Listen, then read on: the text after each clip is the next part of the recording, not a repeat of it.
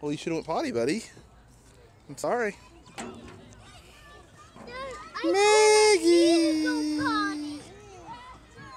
Maggie! Kevin, I want to hear about it. Please stop crying, okay?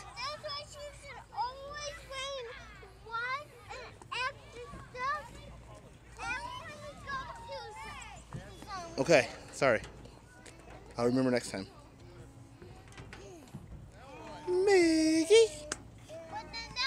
Gavin, enough, please. Stop. I, I was telling you something. Maggie!